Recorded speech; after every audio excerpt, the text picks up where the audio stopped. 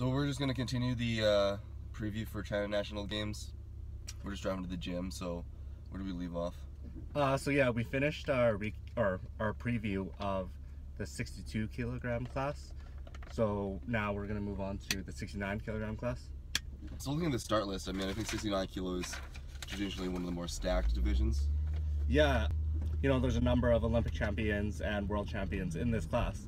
So the first entry total that we're going to talk about is Shi Zhiyong with a to- entry total of 350. Mm, So I don't know if we've seen too much of him since the Rio Olympics.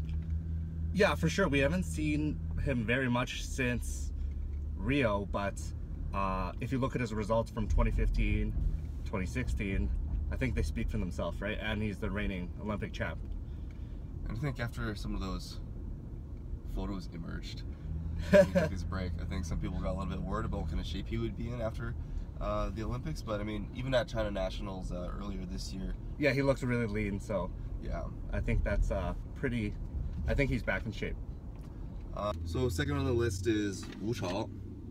Um, he's listed with a total entry total of 340, and uh, looks like he's from Tianjin, so he has the home field advantage here. But once again, it's not a guy that we know too much about.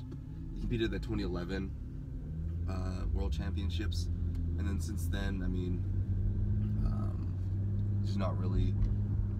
He hasn't really emerged as one of those top 69 kilo lifters in the uh, really competitive field since then. It feels like.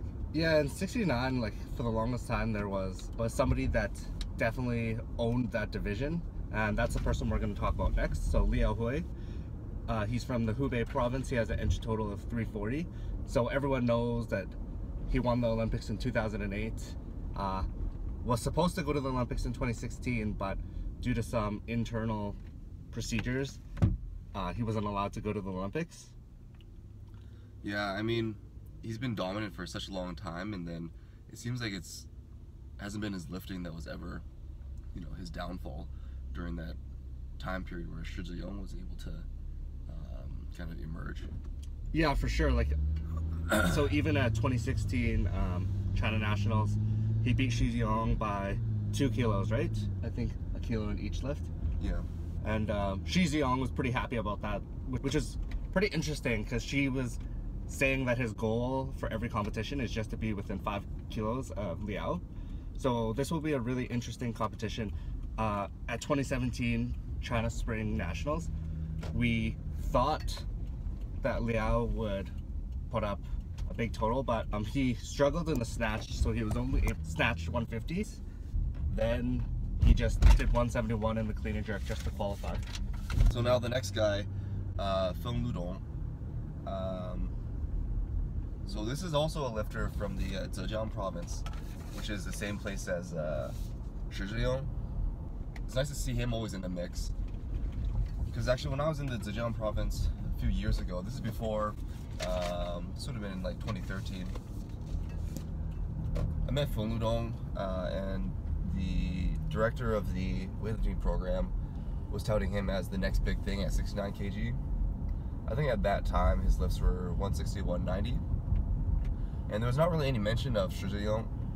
So it looks like Feng Ludong is one of those guys that has, you know, had a really rapid improvement, but then it seems like he's kind of plateaued right on that uh, cusp kind of margin lifts, whereas Shi really just kind of leapfrogged over him.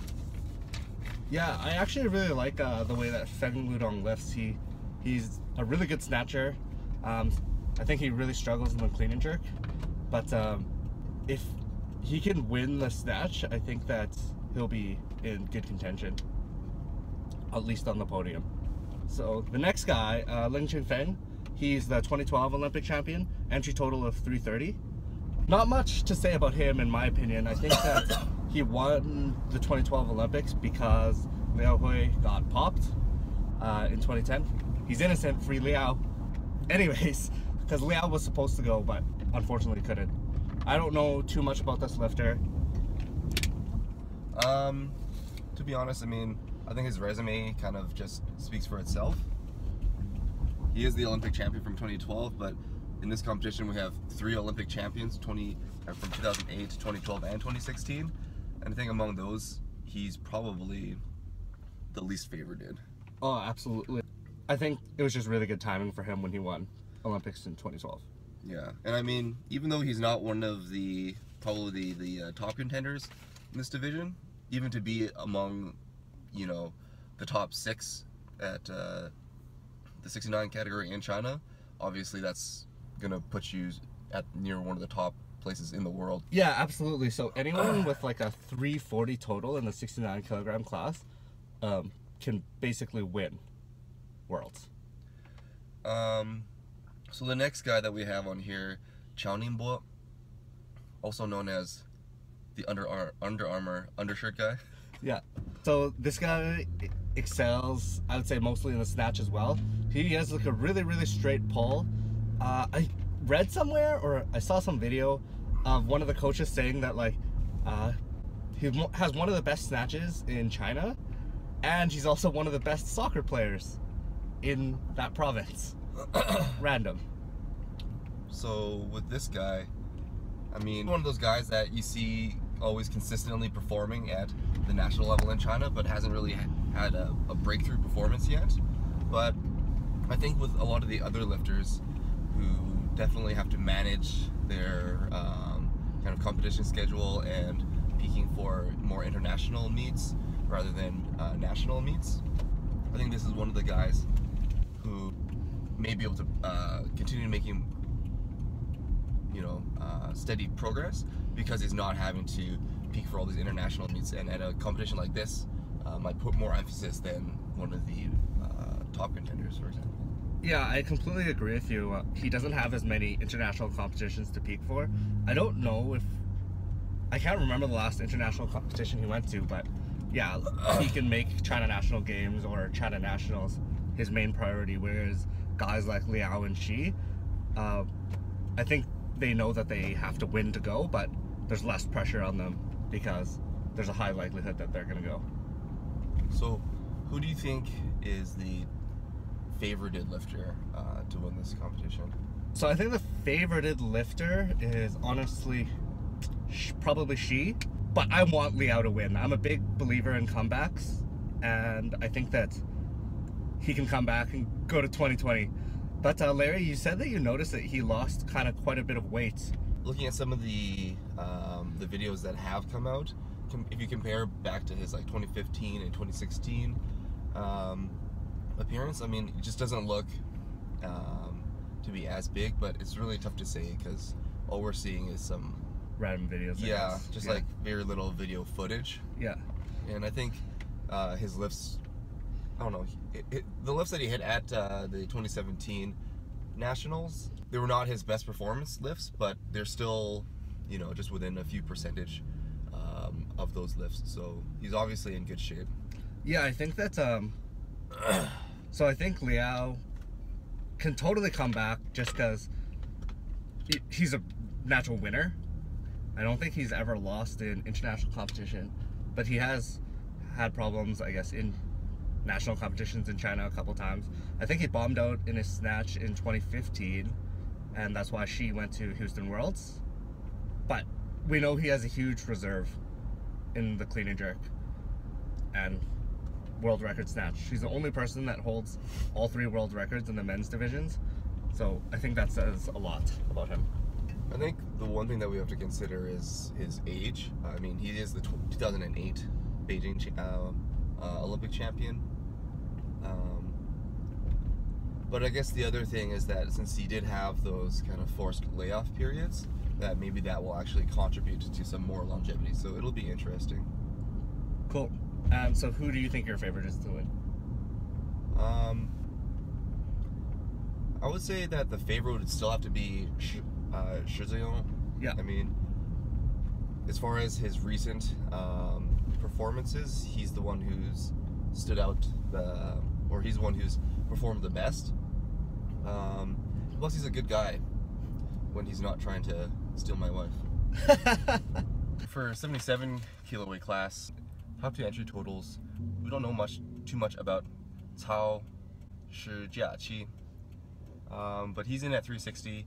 He did 354 at the uh, Olympic trials last year, but that's kind of all we know. Do you know anything else, Mike? No, I've actually never heard of him before. It'll be interesting, actually, what he does, because uh, right now in China, we know that the 77 kilo class is dominated by the next guy with the same entry total of 360. It's uh, Lu Xiaojun. So his entry total is 360. He's capable of totaling over 375. Uh, so that would be a 175 snatch and a 200 kilo clean and jerk. Um, is there anything else we know about Liu? I mean, at this point, they're not really releasing too much footage. Um, we've been hearing about Lu possibly retiring after this competition. Yeah, that's actually really interesting because they said that um, once Liao said he's coming back and trying to go for 2020, uh, Lu said that he would try to go 2020 with his bro. So we'll see what happens. But then also, I remember there was that interview where Lu um, mentioned when he was considering retiring that his wife, who's also a former weightlifter, asked him, "Well, is there anyone who's going to be as good as you that could replace you?" And Lu basically said that even though he's probably considered part of the old guard as far as um, the Chinese national team's concerned, there's still not really any up and comers that at this time are, or at that time I should say, are ready to take his place. So he said that he would keep on lifting until uh, someone would be able to fill that void. Yeah. And uh, I think one of the things, uh, one glaring name that's missing from this entry list is Su Ying. Yeah. And a lot of people in 2015 thought that he would be uh, the lifter that would potentially step up and, and take Lu's place. But yeah. In 2015, uh, at China Nationals, he totaled 370 and beat Lu on bodyweight. And he ended up going to 2015 Worlds in Houston. Uh, unfortunately, he was suffering some back injuries. And when he was in Houston, I think Larry, you talked to him and he said that he hurt his back. um, from my conversation with him, he, he had a minor back injury just during training camp leading up to Worlds, but actually in a uh, non weightlifting um, kind of accident. I think he said he was stepping off the bus. He thought that he had another minor injury to his back, um, or just aggravated his pre-existing injury, and I think that kind of explains the discrepancy between his results at uh, at the preceding Chinese nationals versus the World Championships at that. In kind of a interesting turn of events, one of our correspondents uh, was able to contact Su Ying, and he led us to believe that he is retiring from weightlifting. And he never said, he didn't uh, clarify if this is going to be something that's permanent or something that's temporary, but he did attribute this decision to his long-standing injuries. He didn't clarify if it was in fact the back injury that led to this decision, but for the time being, it seems that he's actually retired. Yeah, and that's too bad because I think he was one of the smoothest Chinese lifters as well. So moving down the list, there are a number of entry totals at 350. We can just talk about the lifters that um, have been seen to compete internationally um, and have, might already have a bit more exposure. So first we can start with Zhong Guoshun. Now, this is a guy that, interesting, a lot of people don't seem to remember, but if you watched the 2014 uh, World Weightlifting Championships, he appeared to have gotten second place after um, Daniel uh, Godelli from Albania. But once the drug testing results came back and Daniel was stripped of his uh, medals, Zhong Guoshun was actually the 2014 uh, 77 kilo world champion. Interesting. Um, the next guy we have on our list is Yuan Chengfei. So some of you guys probably remember him from being a 69 kilo lifter. So he's the uh, youngster that I guess squat jerks and has the Olympic rings tattooed on his chest. And he also has kind of a tribal tattoo on his arm. Uh, some of you may know that the tribal tattoo actually represents a form of protection. So he previously suffered some injuries. Unfortunately, injured it again in as his last in his last competition as a 69 kilo lifter. I'm not sure when that happened, but he recently moved up to 77, and he's had some favorable results. So he snatched 160 and clean and jerked 195 at I think the Asian Championships. So that's pretty significant, and uh, a lot of Chinese coaches are a big fan of this lifter because he's very explosive. Yeah, and um, even just like looking at his body type, he is obviously very well built for weightlifting and particularly squat jerks. Um, and he is one of the younger lifters um, at the top of this start list, so it'll be interesting to see how this weight gain, uh, now that he's kind of had a bit of a chance to settle into the new weight class, uh, if we see a big jump in those numbers. So um, another lifter that's listed at um, 350 entry total is Tang Jian. So this is a guy who's from Hunan province and also I think it was last year that he moved up from 69 kg to 77 Okay. and you might recognize him from the University World Championships. Um, I think it would have been last year as well.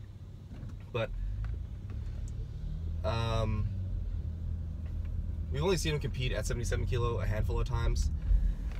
Last year at the Olympic trials, he did have um, a pretty good showing, and he placed second place uh, after Lu Xiaojun.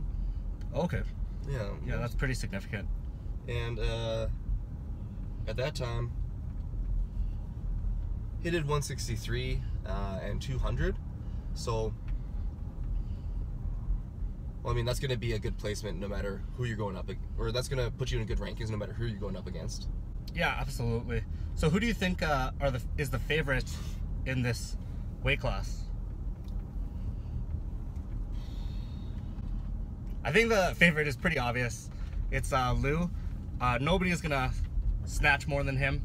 Obviously, he has the world record of 177 snatch, where he set that uh, in Rio. Uh, he kind of tends to struggle in the clean and jerk, but I think since he'll be at home, he'll be able to clean and jerk at least 200. So I don't think there's too much competition. But if you had to pick somebody else to win, and we know that it might be his last competition, the other lifters might be a little bit more motivated because if China does end up going to Worlds, and if it's his last comp, it's not going to be him.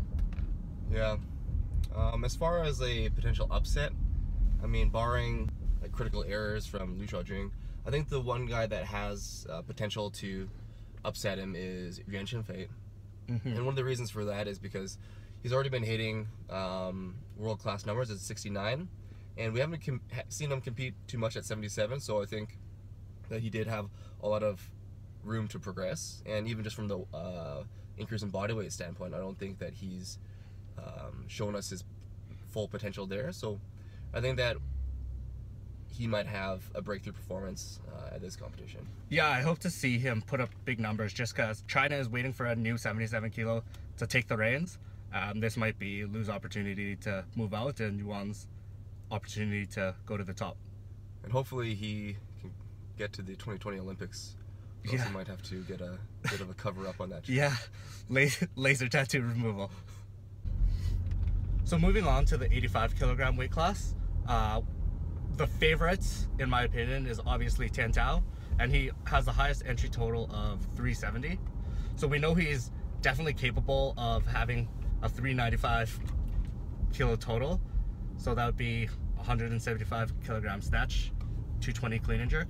And I think that's what he did at 2016 China Nationals. Like Lu has co- some consistency issues in the clean and jerk, but I don't think that'll be a problem. So recently he switched from a squat jerk to a power jerk and it looks a lot more consistent. So recently there's also been videos of him clean and jerking or power cleaning 200 and power jerking it like it was nothing. So hopefully he's able to show Uh, up. Tiantao is another one of the lifters who's on Yu Jie's team. Last year before the Olympics, Yuje uh, was kind of discussing a bit of a change in competition strategy with some of the uh, squat jerkers. And one of the things that he seems to think might improve their competition performances is actually increasing the um, the weight jumps that they take between attempts. So I feel like Tian uh, in this competition, I mean, he doesn't really have a lot of competition on paper.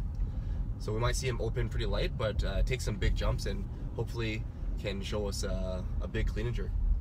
Yeah, obviously this guy's capable of uh, clean and jerking a new world record. Well, there's videos of him actually cleaning 230 like it's nothing, uh, and obviously he misses the jerk. I think going into 2020, this is the guy to watch in the 85 kilogram class, and he's still super young. Now, looking at the rest of the start list, um, not really many too big names. The only other name that I recognize actually is uh, Swimway, who's also listed at 370. I remember meeting him at the National Training Center um, in 2014, and he's a very humble guy. He's from uh, Hunan province, and he was training there um, just temporarily because one of his coaches uh, was there um, in preparation for the Asian Games that year, and um, you know, very workmanlike. He puts in a lot, a lot of uh, additional work and um, technique work, and always stayed a little bit longer than um, some of the national team lifters. So this is a guy that has a hard work ethic, and I think that um, we can expect to see some competitive numbers from him.